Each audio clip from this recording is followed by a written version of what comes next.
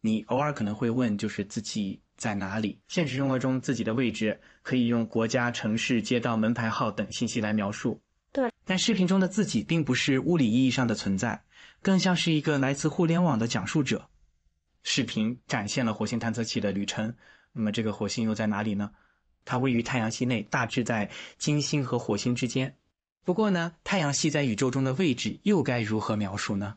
我们现在已经知道，太阳系并不是宇宙的中心，它其实只是整个银河系一小部分。银河系就像一个巨大的漩涡星系，由数千亿颗恒星组成，并且围绕着银河系中心旋转。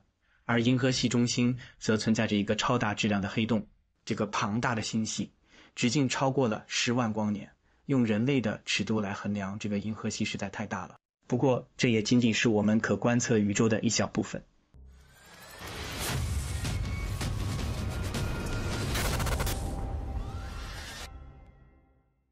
围绕着太阳系，还有一层由彗星、小行星和冰冻天体组成的圆球状云层，我们称之为奥尔特云。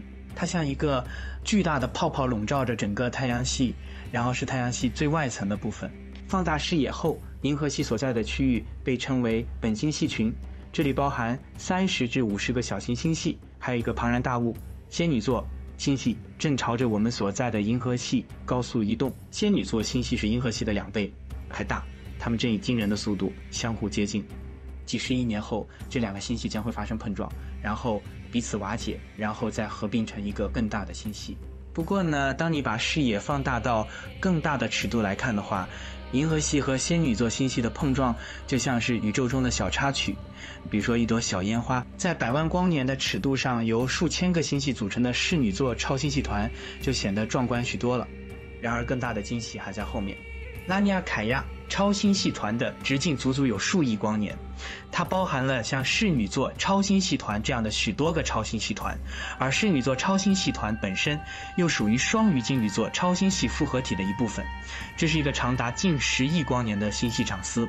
通过不断放大视野，我们终于看到了宇宙的宏大结构——宇宙网。我们所在的这个星系团丝，只是宇宙网络中的一部分。就像蜘蛛网的细丝一样，连接着这个巨大的星系团结构。同时，宇宙中也存在着大片几乎什么都没有的太空区域，比如木夫座空洞，这是一个半径三点三亿光年的巨大空洞。我们在其中仅发现了大约六十个星系，就像是斑点天空中的一个墨字。继续放大视野，我们将抵达可观测宇宙的边缘。那里原始的光芒从宇宙诞生之初一百三十八亿年前就一直在旅行，最终到达地球，进入我们的眼睛。然而，由于宇宙一直在膨胀，可观测宇宙的实际边缘已经比可观测光抵达我们的距离要远得多，大约是四百六十亿光年。换句话说，整个可观测宇宙的直径达到了九百三十亿光年。随着观测尺度的增加，我们目前的技术呢难以定义这种超过几十亿光年以上的结构。部分原因是我们身处其中，难以完整描述，也可能存在科学家们所说的宏伟极限。然而到目前为止，宇宙在各个尺度上，行星、恒星系、星系、星系团、超星系团，然后都呈现出一定的结构。它并不是杂乱无章的，而是似乎遵循着某种组织规则。令人费解的是啊，宇宙最初只是一个炽热稠密的粒子汤，那么演化成如今拥有漩涡星系和空洞的结构，又是为什么呢？更重要的是，我们如何了解这些？为了解开宇宙的奥秘，科学家们进行了大量的研究和探索，尤其是这个宇宙诞生初期的状态。公元一五零二年，哥白尼原本应该在帕多瓦学习医学，这里是当时欧洲医学教育的中心，所有最优秀的老师和学生都聚集在这里，学习如何治病救人。而哥白尼是一位全才。他不但学习医学，还钻研亚里士多德、普鲁塔克和柏拉图等哲学家的著作。在业余时间，他还发现了托勒密地心说存在的漏洞。完成学业后，哥白尼回到波兰，为父亲担任医生。尽管如此，他并没有忘记对宇宙的探索以及我们人类在宇宙中的位置。十年后，他写了一本小册子，概述了他如今广为人知的理论：地球并不是宇宙的中心。哥白尼认为。地球和其他行星一样，都围绕着太阳运行。人类并不特别，地球也不是宇宙的中心。他知道这个理论会引起轩然大波，因此没有立即发表。直到他七十岁左右，据说是在临终之际，他才批准了这本名为《天体运行的这个奥秘》的书的出版。这本书的问世撼动了科学、天文学、哲学和宗教的根基。由于挑战了当时占主导地位的宗教观念，格白尼的日心就说，在之后的几十年里都被人认为是异端邪，说支持者甚至遭到迫害。这个地球只是众多行星之一的异端想法，在当时看来是如此危险和匪夷所思。虽然哥白尼的日心说在当时让人震惊，但这仅仅是揭开宇宙奥秘的序幕。如果我们只是围绕着一颗普通恒星运转的行星之一，那么人类在宇宙中的位置又算什么呢？一点也不特别。最初这或许会让人感到失落，但进一步思考，它又打开了可能性的大门。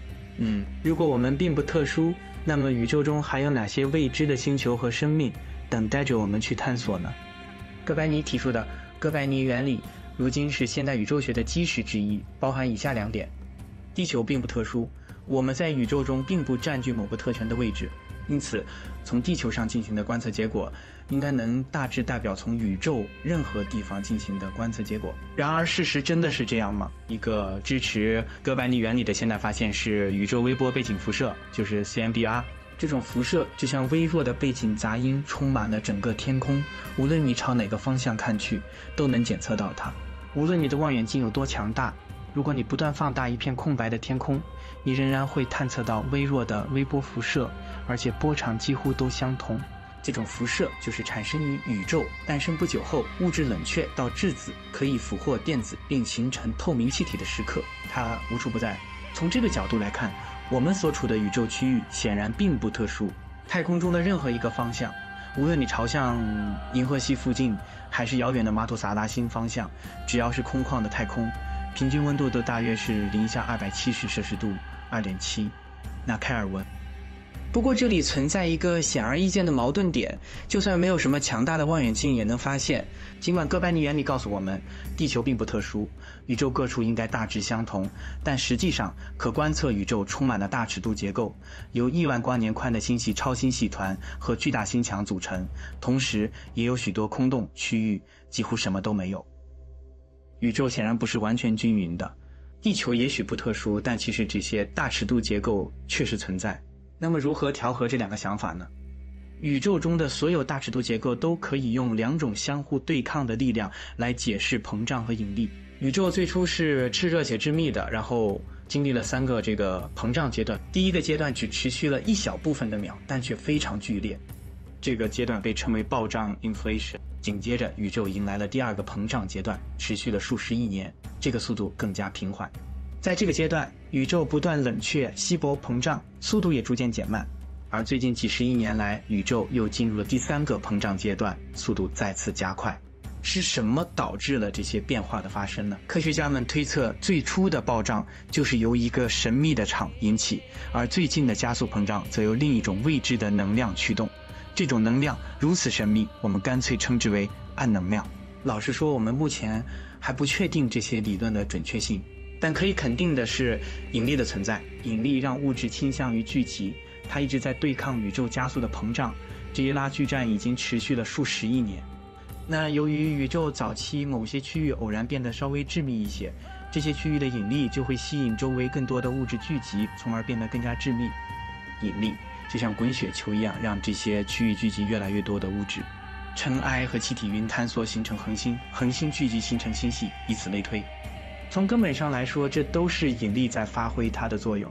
至此，我们似乎解释了大尺度结构的形成。但问题又来了，因为这样一个均匀膨胀的宇宙模型，并不能解释第一个致密区域的来源。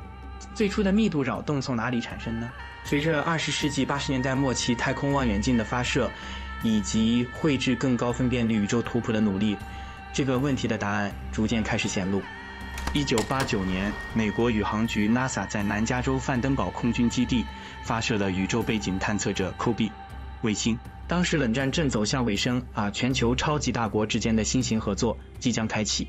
用来开启这一新篇章的利器，就是拍摄宇宙的婴儿照。COBE 肩负着重要使命，详细绘制整个天空的图像，并告诉我们宇宙微波背景辐射的分布是否均匀。一九九二年四月二十四日，这项研究的结果登上了《纽约时报》的头版，这个标题吸引了全世界人们的目光。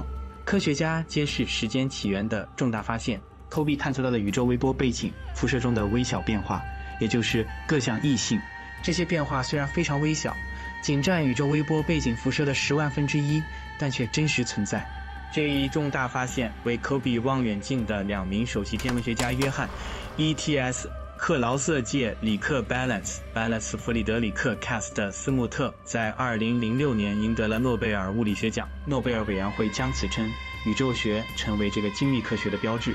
Kobe 的成功促使美国宇航局在2001年发射了另一台宇宙微波背景辐射探测器，名为 Vulcan，引用 LSP，进一步证明了太空望远镜的强大功能。它不再仅仅探测到密度微弱的涨落，而是能够分辨出更精细的结构，并开始勾勒出宇宙的演化图景。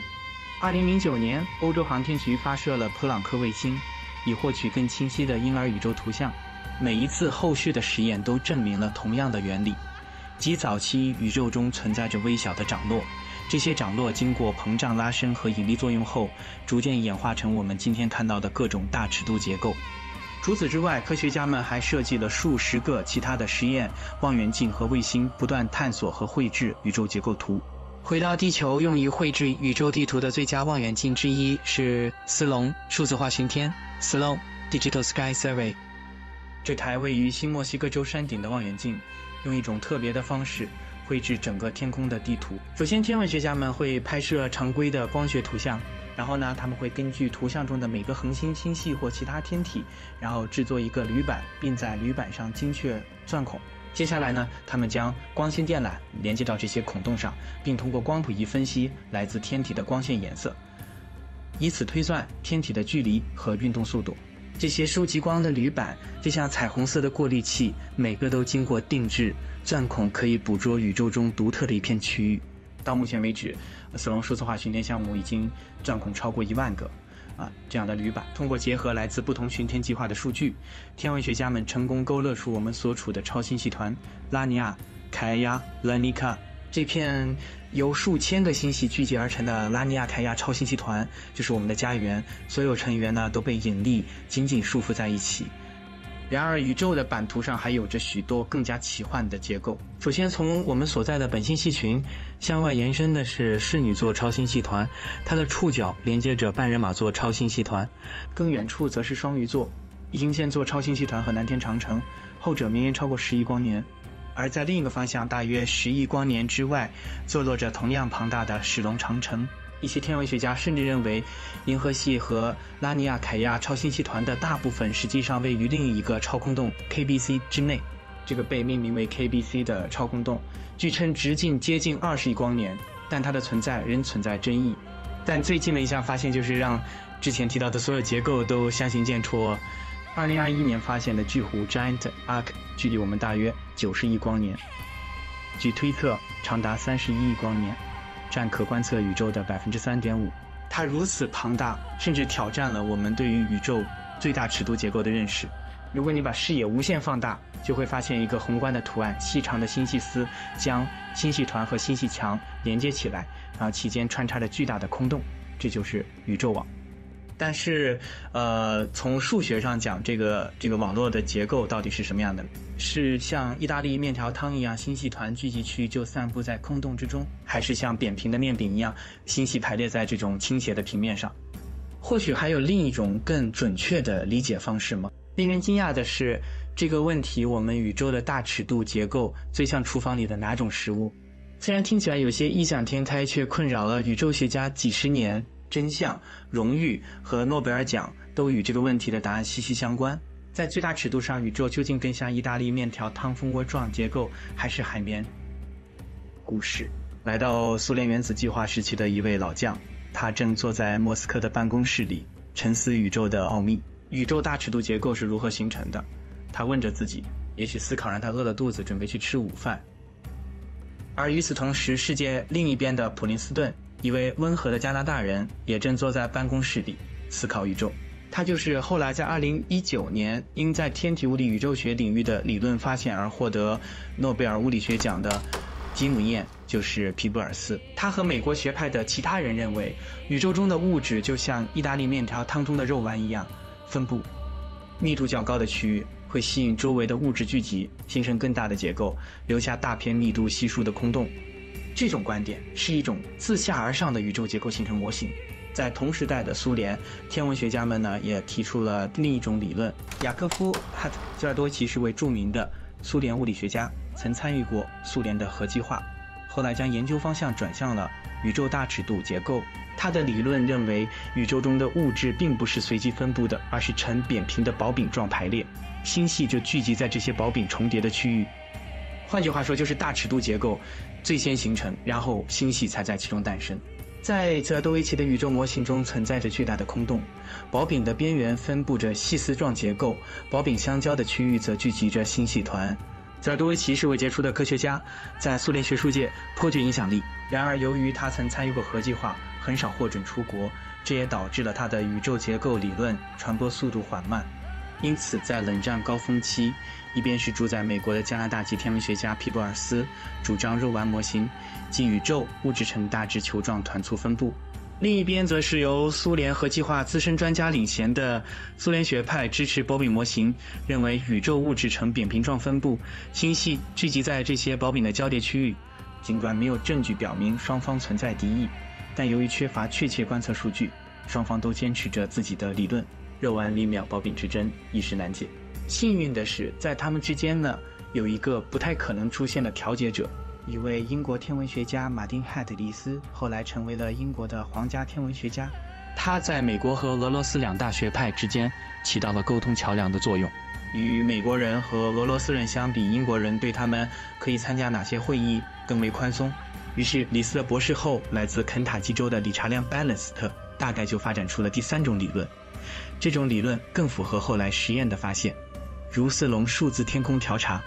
一九七七年，哥特在当时呢属于苏联的爱沙尼亚的一次会议上，就遇到了泽尔多维奇。这场会晤以及观测方面的新进展，将引领人们对宇宙的全新认识。正如哥特在其著作《宇宙韦伯望远镜》中描述的那样，泽尔多维奇是一位妙人。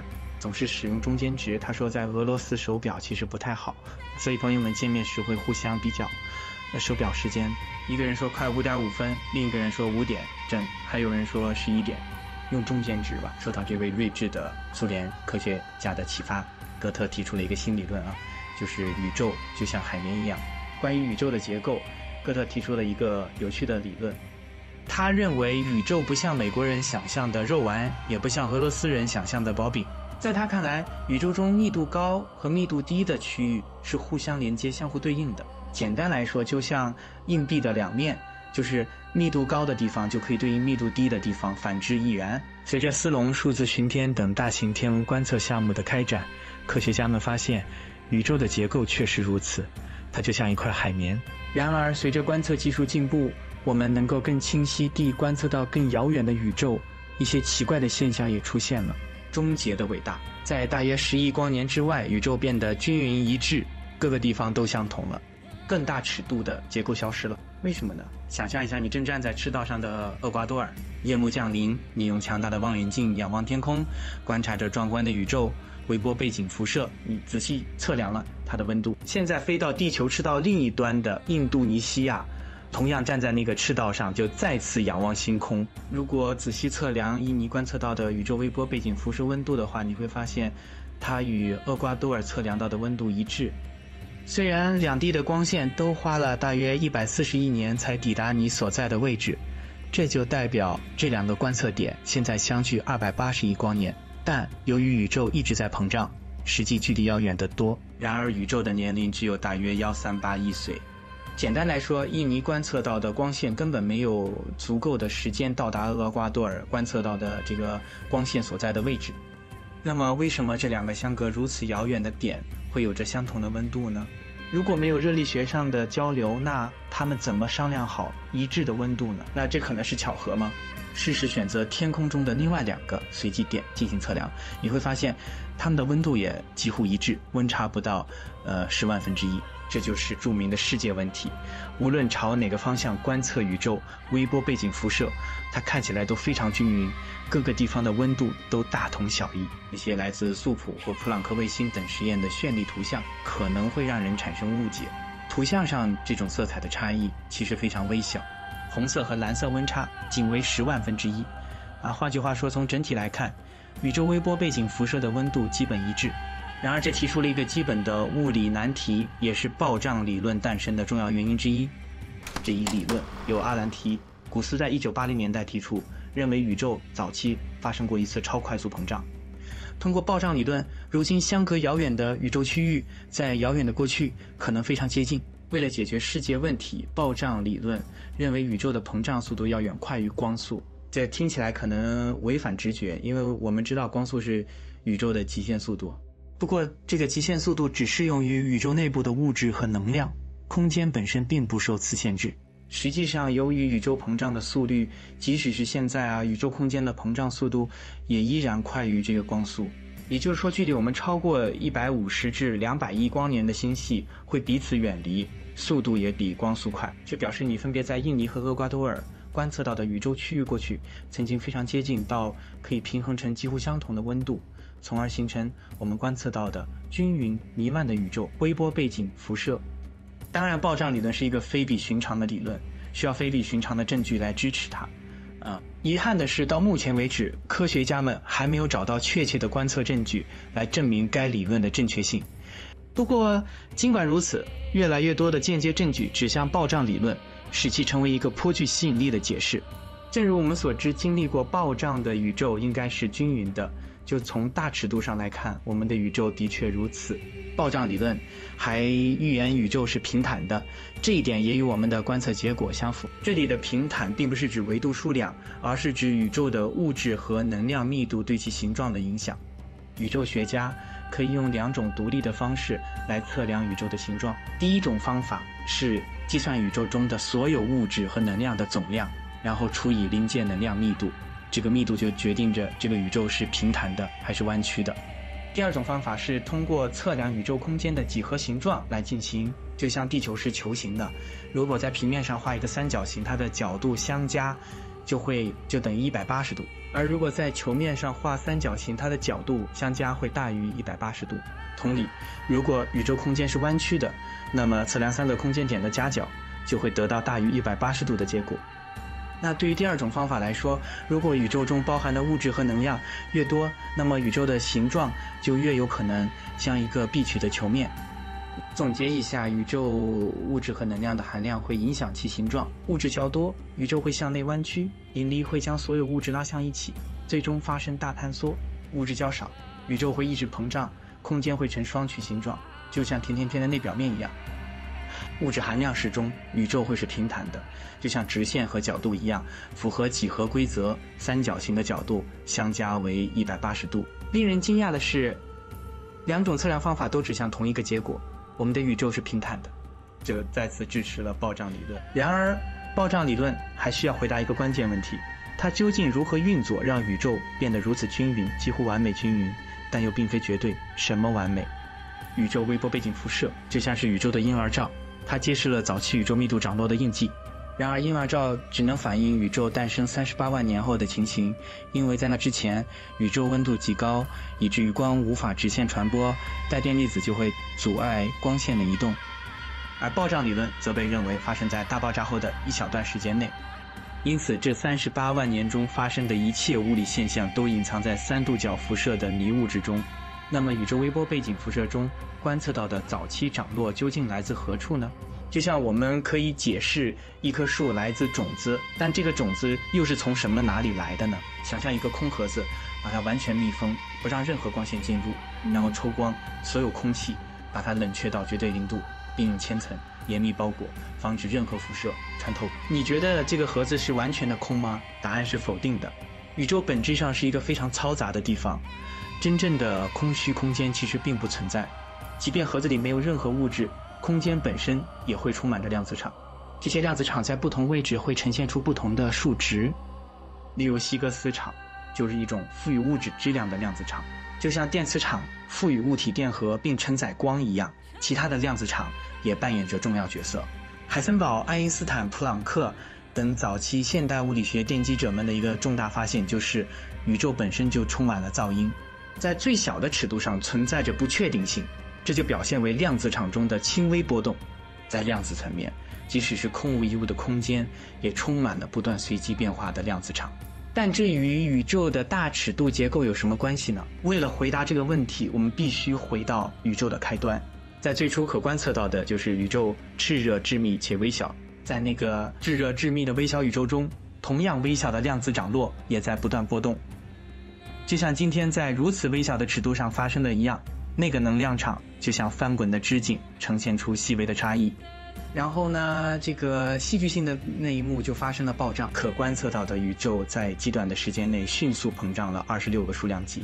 与如此巨大的变化很难用语言描述，我们的大脑其实很难想象这种爆炸的规模。二十六个数量级意味着什么？就像一粒一毫米的沙粒膨胀到一个相当于十亿亿米的庞然大物，这就相当于一个亿光年，差不多是拉尼亚凯亚超星系团的尺度。这种剧烈的膨胀速度令人震惊，在十的负三十三次方秒内，可观测到的宇宙就从微观尺度变成了宏观尺度。可以说，这种膨胀几乎就发生在一瞬间。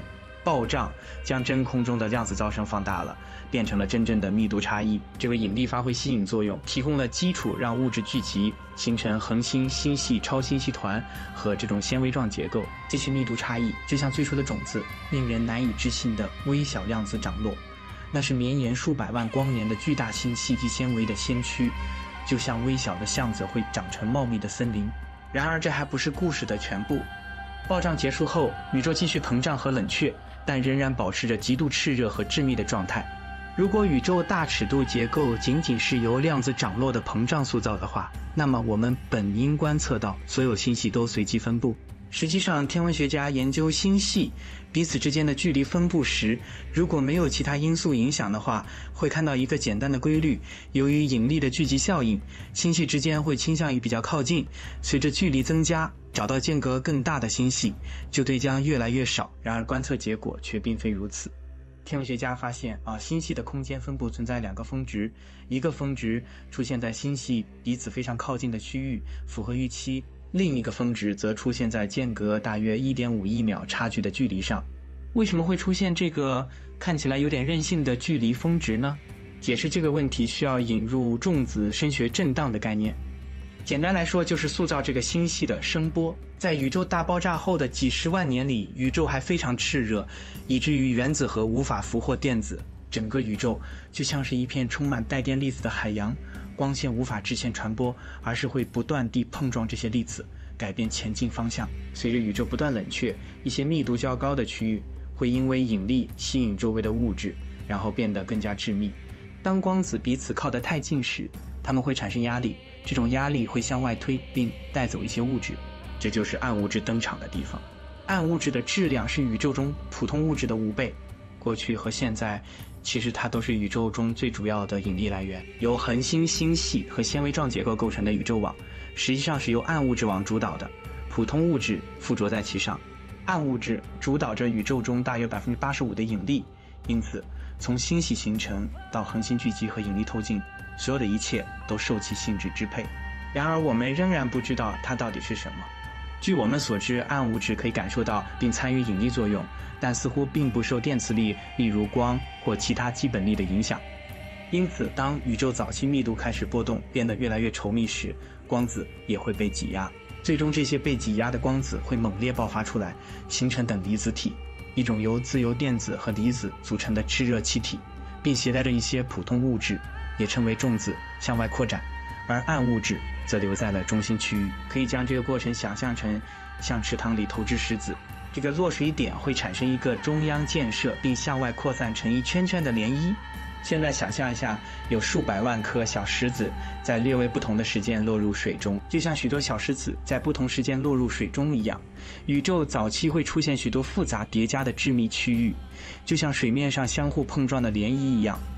这就是暴胀结束后宇宙的状态。然而，宇宙一直在冷却。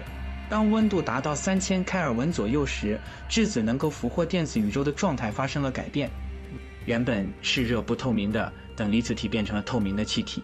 宇宙变得透明的那一刻，宇宙微波背景辐射得以逃逸，同时不断膨胀的涟漪也戛然而止，因为携带物质的光子不再与物质耦合，光子们沿着直线飞奔而去，留下被冻结在一定距离的物质团块。这就是为什么我们在星系间隔分布图上看到第二个峰值出现在1.51秒差距的距离，因为它正是当年光子结偶时的距离。这就是宇宙学家们能够透过宇宙微波背景辐射破译，看似随机的分布模式，来了解更遥远宇宙的那一种方法。暗物质在整个故事中扮演着核心角色，它是塑造宇宙大尺度结构的幕后黑手。事实上，在许多方面，这种暗物质才是宇宙叙事中的真正主角。然而，直到二十世纪中叶，它才被人类察觉。一九三三年，一位名叫弗里茨 （Field） 兹威基的年轻瑞士天文学家，注意到一个奇怪的现象：星系群中恒星的运动速度异常快。他通过两种独立的方法测量了一个星系群的总质量，却发现这两个测量值并不匹配。兹威基通过两种方法计算星系群的总质量，统计所有恒星的质量，然后相加，根据星系在星系群中的运动速度计算质量。令人惊讶的是，这两种方法得出的结果相差了十倍，速度计算出的质量是恒星质量的十倍以上。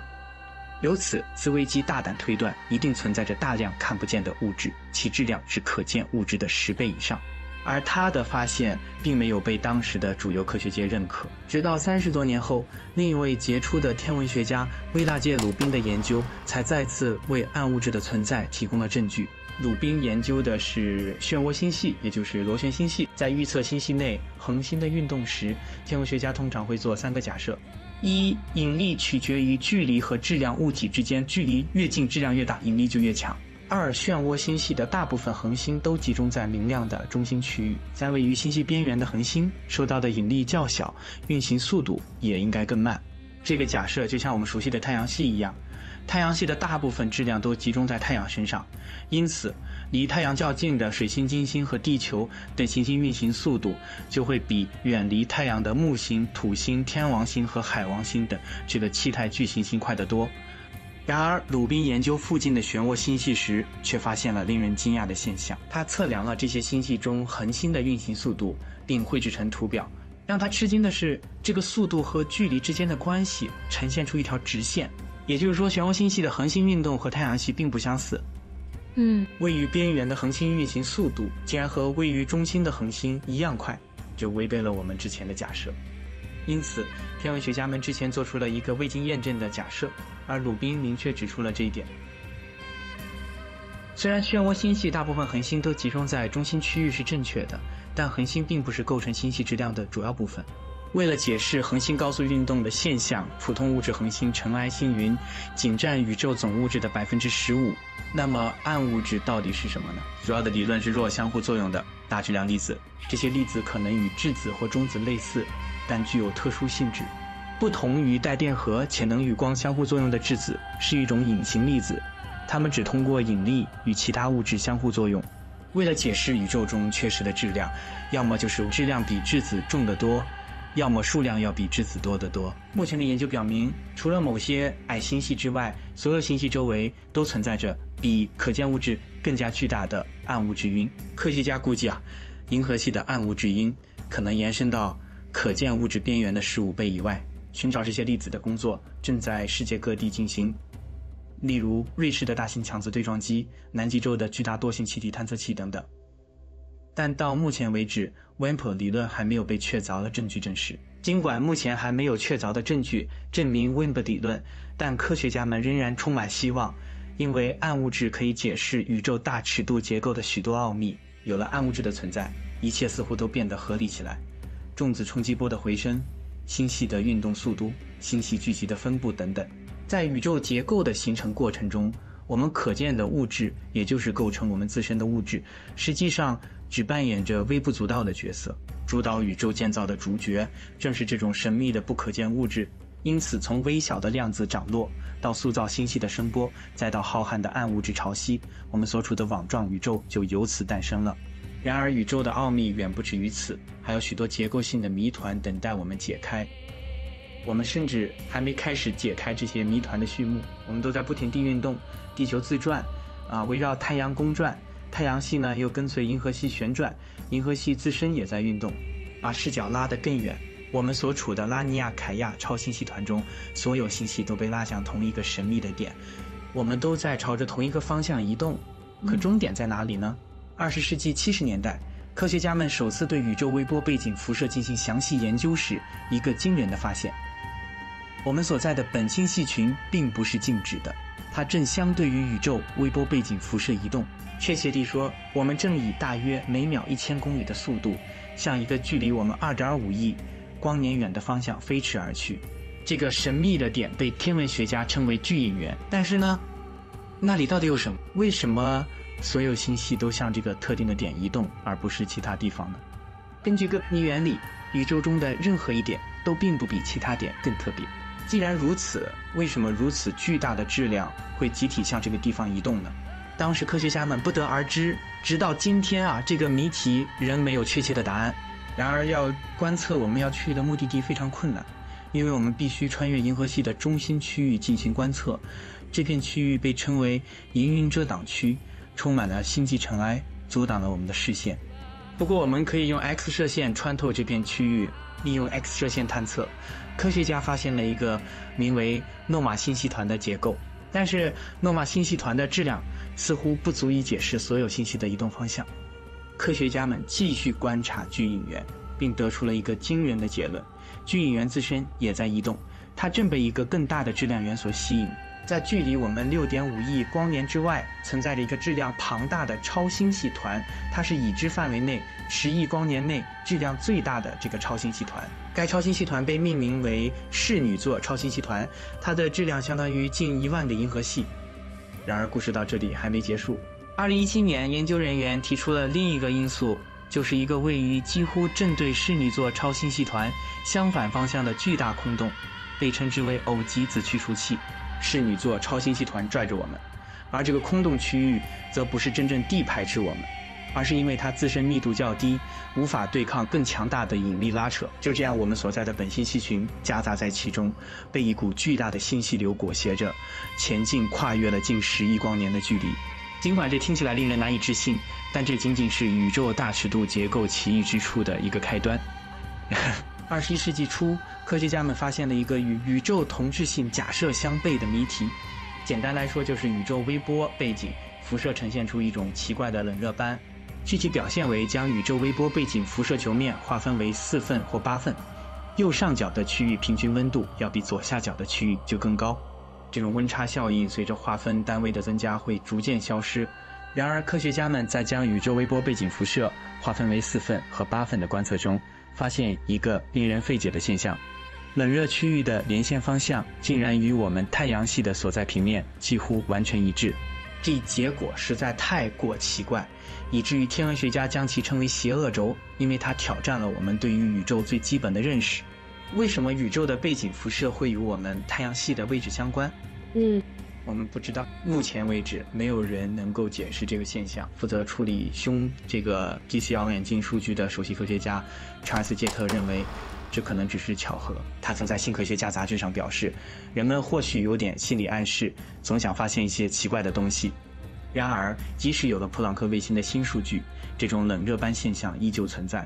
德国比勒菲尔德大学的多米尼克斯瓦斯表示，很长一段时间以来，一些科学家都希望这种现象能消失，但事实并非如此。邪恶轴之谜仍然没有解释。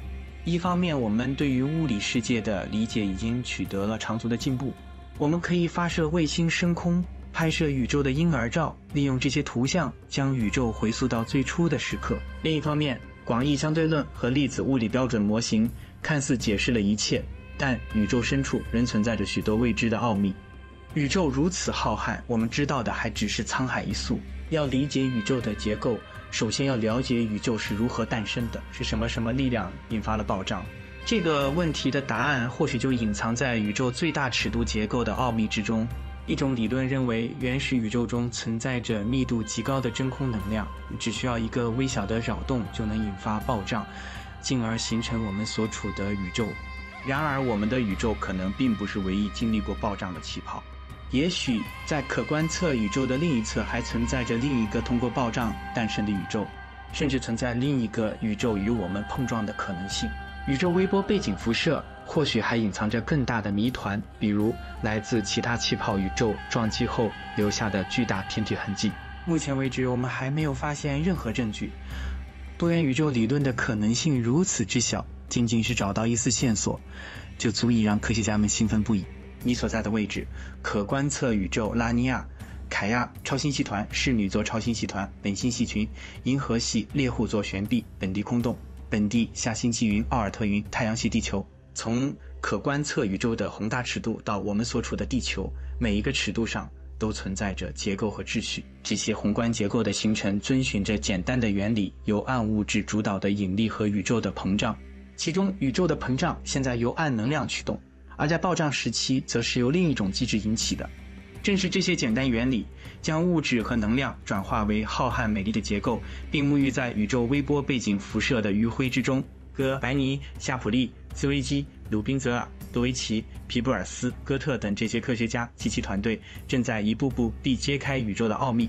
然而，尽管我们已经了解了这么多浩瀚的宇宙深处，仍然存在着许多未解之谜，等待着我们去探索。这些谜题就写在星辰的密码之中。